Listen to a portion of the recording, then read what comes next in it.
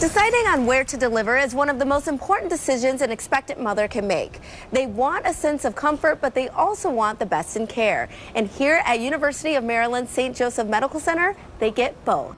Enter University of Maryland St. Joseph Medical Center, and you immediately know that you have stepped into a place where faith is at the forefront. We have prayers three times a day, and it just allows us to pause and just remember why we're here.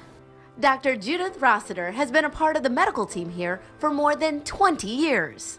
So my role as chairman of the Department of OBGYN at the University of St. Joseph Medical Center is first and foremost to ensure the safety and the quality of the care that we provide to our patients. And that's done in a collaborative manner. We develop processes with help of our hospital staff, our nurses, our midwives, and our physicians that will allow for us to provide the highest quality, the highest standards of maternal child care. And that means being able to support both natural and medically assisted births. The C section rate here has dropped significantly from 33% to 27%. That's one of the lowest rates in the state. We have a very strong midwifery program, and so we can support women who need high, high tech, high intensity services with our maternal fetal medicine practice, and also those who want high touch and low tech with our supportive services with our midwives and the nursing staff who's capable of managing both. Gigi Moore is a certified nurse midwife and has been a part of the staff here for the better part of 20 years as well.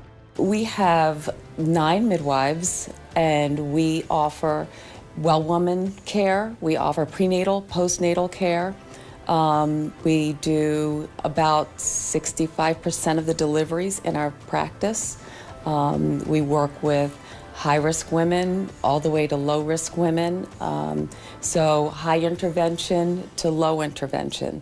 So, um, women have the opportunity to have the independence and the autonomy when they have a low risk pregnancy. And if a woman has a high risk pregnancy, she is still in the right hands with St. Joseph Medical Center. The Perinatal Center is our specialty practice that provides high risk obstetric services. In it, we have three fellowship trained maternal fetal medicine specialists, or MFMs, or high risk OBs. And what we do is we provide consultative service and co management for our referring physicians and midwives that deliver at St. Joe's and also in some of the area, area hospitals.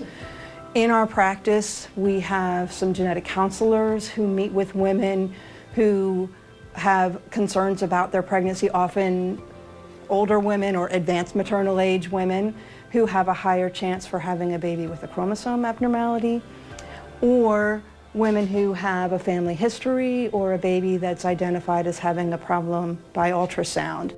After delivery, women are still cared for. We keep them supported. So, for example, a diabetic will help to manage their diabetes throughout the pregnancy, including in the labor and delivery process and after they deliver.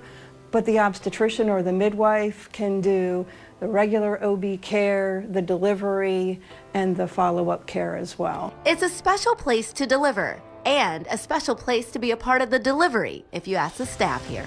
I love St. Joe's. It is such a warm environment where we have great compassion and care for our patients, and there is a spiritual aspect to our care that is unique. Considering delivery here or women's health services? Go to umstjosephs.org. We'll be right back with more Midday Maryland right after this. Stay tuned.